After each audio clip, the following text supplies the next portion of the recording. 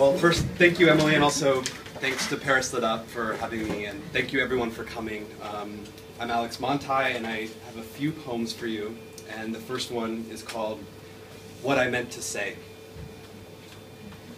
What I meant to say is that love is a tiredness that sustains. It keeps you awake, I thought, cleaning out your mug. The sponge dirtier than the coffee it replaced. You always left a little cold at the bottom.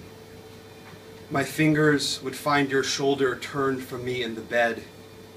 I can't tell if you're asleep or faking it like me. And then you mumble, You didn't have to. What? You keep forgetting we have a dishwasher.